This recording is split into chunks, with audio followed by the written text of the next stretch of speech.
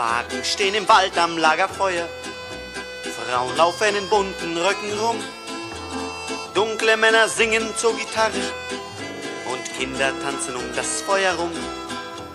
Pferde galoppieren über die Wiesen, Jungen angeln an einem Bach. Durch die Ritzen eines Wagens erklingt unüberhörbar großer Krach. Eine alte Frau raucht ihre Pfeife, ein alter Mann erzählt, wie's früher war. Hunde prügeln sich um einen Knochen, das war anno dazu mal.